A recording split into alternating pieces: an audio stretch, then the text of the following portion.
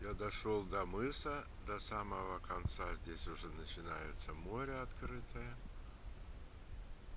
Вот здесь вдали виден э, э, мол устья, правая сторона устья Пярну.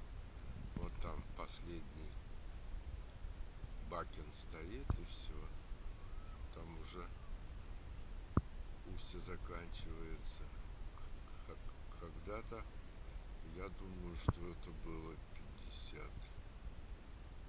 даже больше 50 лет назад. э, э, Меня родители отправили в санаторий в Пярну. И я убегал на этот мол, потому что мне неинтересно были там общественные какие-то занятия детские. Я любил природу, я выходил на этот мол и, и мечтал, что я когда-нибудь смогу сюда вернуться и поплавать на лодке.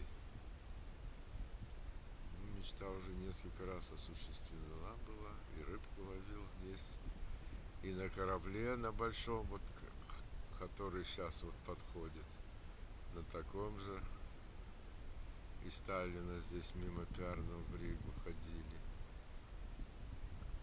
Море тихое, спокойное. Посмотрим, что будет позже, но пока идеально. Это устье маленькой речечки, выходящей тоже залив.